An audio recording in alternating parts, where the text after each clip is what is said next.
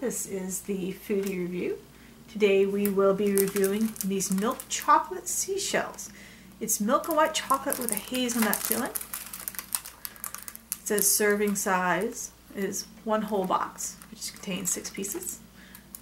Calories are 350 calories from fat. It's fairly highly fatty. It's 200 out of 350, which is a lot of total saturated fat, 60% of your daily value. Okay, so what is in these? Sugar, whole milk, which is whole milk powder in this case, cocoa butter, hydrogenated palm oil, cocoa, hazelnut paste, cocoa powder, skimmed milk, whey protein, butter, which also contains cream of salt, and the emulsifier soy lecithin, artificial flavors including vanilla. Allergens. It has an allergen warning. Contains milk, soy, and tree nuts, which is a hazelnut. It is produced in a faculty where facility where wheat is used. And it also says cool store in a cool and dry place is to keep your chocolates nice and chocolatey, to keep the sugar crystals inside the chocolate very small. Because if you heat and reheat chocolate, it recrystallizes. It is actually produced in the European Union for Sherwood Brands, part of New Brunswick, New Jersey. This was bought for a whole dollar at the Dollar Tree. These look just like the more expensive Belgian chocolates. So I got these to see if they match up to those expensive seashell Belgian chocolates. Comes in a nice shrink wrap. Shrink wrap is, you know, nice thing to feel and it looks like it has an easy to open tab. Let's look at this. Opens up incredibly easy. Put it off to the side. So it comes in a very fancy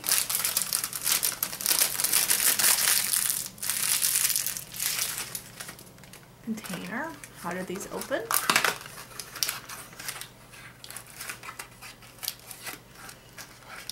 Opens up and each one of ooh, each one of these seashells comes in its own special shaped container.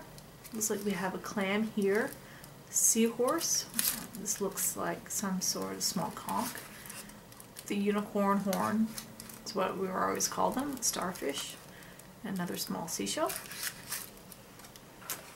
Let's open these up to see how they taste.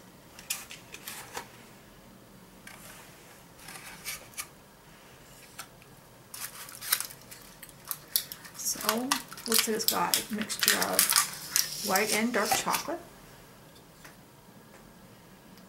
Oh, very smooth.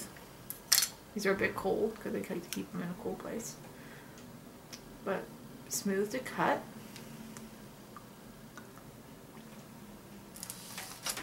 I'm tasting the first piece right now. I'm wondering if these are all the same as far as the interior.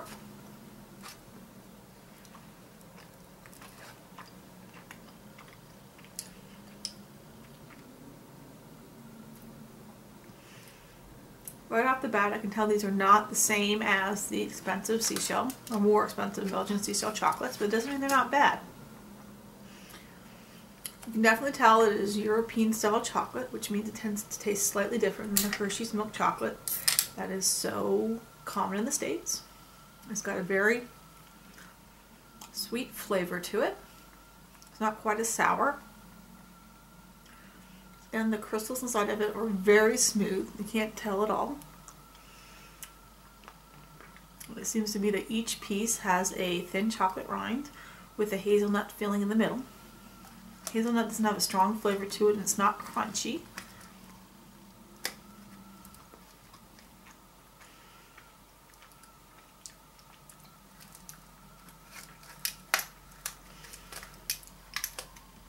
You can taste the hazelnut as a bit of an aftertaste, which is a bit of a disappointment. I wish there was a bit stronger hazelnut flavor to it, but again, this, these were a dollar from the Dollar Tree and they came in a very nice package.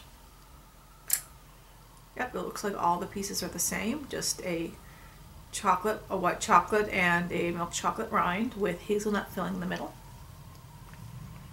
You get six pieces for a dollar. Yep, each piece is the same on the inside. I'm going to cut them all open just so you can see.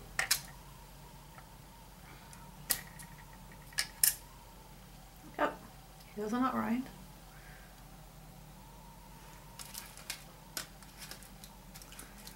Not, not not bad. Got a nice, even container has a really nice crinkly sound to it.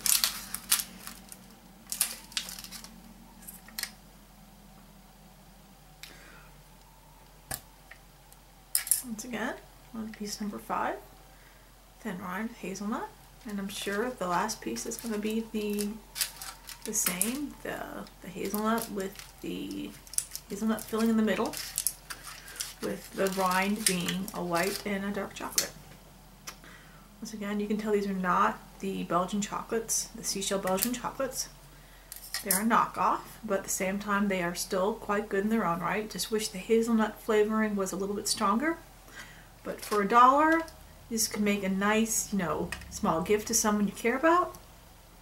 Could supplement, you know, or be an add-on to like a Christmas gift or a birthday gift. For a dollar, these actually can't be beat. Quite good. So definitely give it two thumbs up.